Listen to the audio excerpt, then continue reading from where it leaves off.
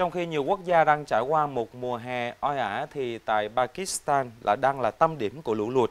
30 ngôi làng đã bị nhấn chìm ở tỉnh ờ, Sindh, Pakistan sau khi lũ quét từ Balochistan tràn vào tỉnh này, nâng tổng số ờ, lên 50 ngôi làng bị ngập trong nước lũ.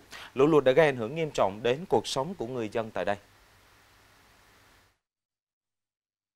Ông Sajid Ali, một nông dân sinh sống tại tỉnh Balochistan, đang cố gắng lội qua cánh đồng nơi nhà ông đang canh tác. Cả khu vực đồng áng đều bị nước lũ nhấn chìm. Giờ tôi không còn chút hy vọng nào. Toàn bộ cánh đồng của tôi đều bị nước lũ phá hủy. Cả nhà tôi đã làm việc rất chăm chỉ, ai cũng mong muốn mùa màng bội thu. Giờ tôi phải đi gieo trồng tại mảnh đất khác vì tất cả đã bị phá hoại hết rồi.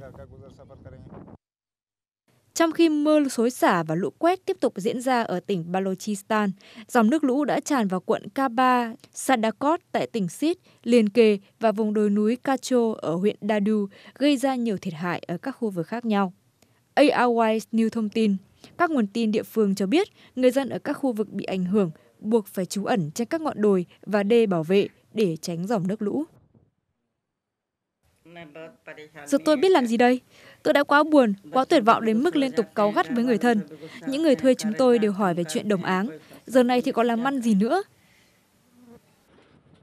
Các nhà chức trách quản lý thảm họa của Pakistan hôm 30 tháng 7 cho biết mưa lớn và lũ lụt đã khiến thêm 19 người tử vong và hàng trăm người khác mắc kẹt ở các tỉnh Balochistan và Khyber Pakhtunkhwa.